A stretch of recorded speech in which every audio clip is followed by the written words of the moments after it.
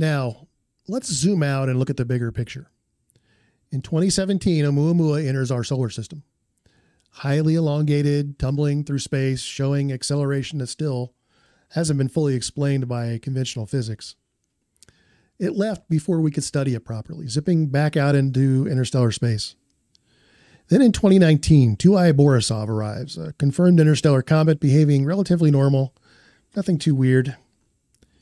Now, 3I Atlas in 2025, and it's showing the most extreme chemical signatures and activity we've ever seen in any object.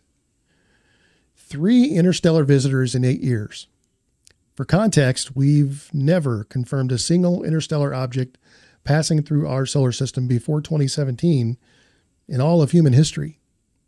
Now we're averaging one every couple of years, and each one is more anomalous, more strange, more inexplicable than the last.